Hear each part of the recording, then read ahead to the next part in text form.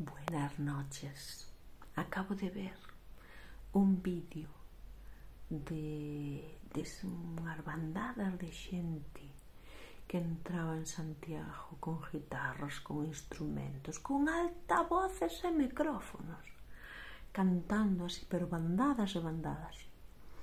Juventudes ou non sei que, con bandeiras de fora primeiro fago unha pregunta Mira desta xente que está facendo festa ou unha manifestación da súa fe, pero manifestación ao fin e ao cabo, pide o permiso ao montamento. Me gostaríame sabelo se si permiso ao montamento. E además desta pregunta, traigo unha recomendación para a xente que vive nestas rúas de Santiago de entrada a la, a la plaza de, de oración del obradoiro.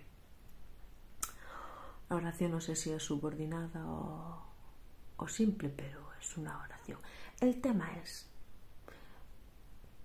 coller ideas de personas inteligentes.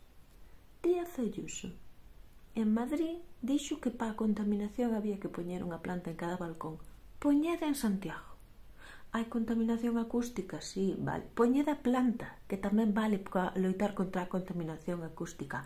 Poñeda planta no balcón e rejade a cada hora.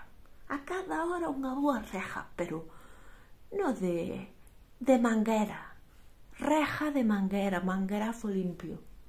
Acabas a contaminación. Ala, que vaya ben.